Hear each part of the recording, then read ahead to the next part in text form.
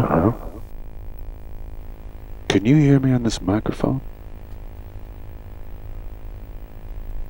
So this was kind of getting coming around more and more, and I'd run into those guys, Kobe and Aarich, and I didn't I I didn't know what they were talking about.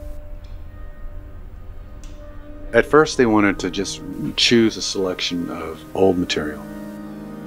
They work with an artist and they go through their catalog and they, they pick and choose a few songs that I think they'd like to add their eight piece orchestra to.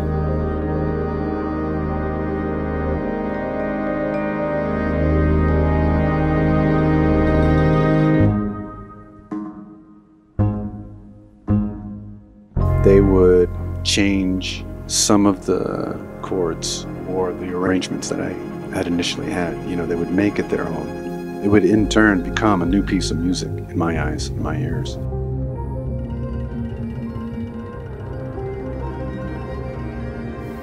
Pieta and I were talking, and then it just hit like a light bulb that, wait a minute, she needs to be in on this for, it seemed like a bunch of reasons at the time.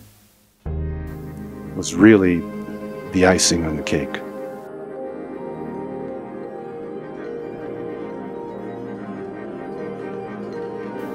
It's so cool to be in the center of all that sound. Their band is primarily acoustic.